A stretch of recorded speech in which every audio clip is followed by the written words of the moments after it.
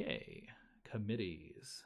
As we, we just saw, you know, a, a committee um, is the only means by which a motion, if it hasn't been uh, disposed with, can be held over for more than a quarter.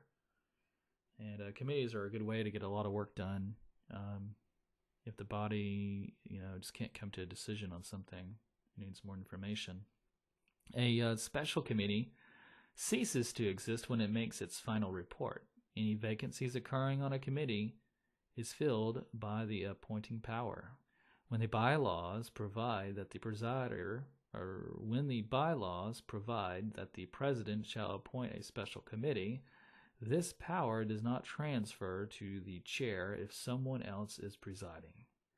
A committee can appoint subcommittees which report to the committee. A standing committee is constituted to perform a continuing function that's done in the bylaws usually. The power to appoint a committee carries with it the power to appoint the chairman and to fill any vacancies that may arise in the committee. The person appointed first by the president is chairman of the committee. A committee report may contain how the committee undertook its work, facts obtained, findings, and recommendations for resolution. The quorum in a committee is a majority of its membership unless the assembly has prescribed a different quorum. Motions to limit or close debate are not allowed in committee meetings. That's interesting, huh?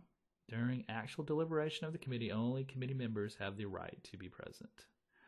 So um, the committee could have public hearings and then hear testimony from individuals, and then they could go back and have deliberation without having uh, public access or without allowing public access, unless, of course, your bylaws say otherwise.